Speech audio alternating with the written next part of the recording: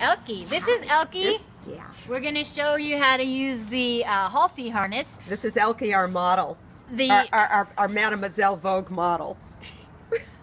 so the first thing that's important is you need a collar with a little ring around it, a regular kind of collar. So we got this and put it on Elke. So now she's wearing her collar. I should get the treats out for Elke. Okay.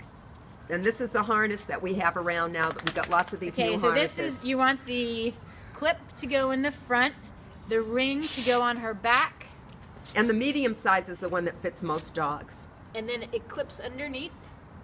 It clips underneath. The word harness actually goes underneath the belly. Okay, now the key part is this little clip has to hook up to the ring on her collar so it doesn't drop down.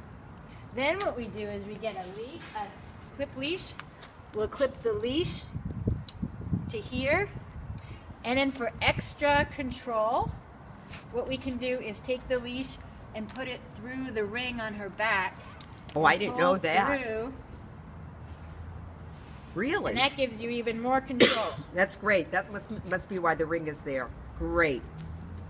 Okay. And that's how you do it.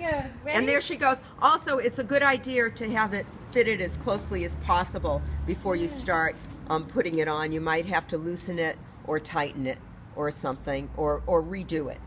Great. Thank you, Miss Elke. Thank you, Miss Pam.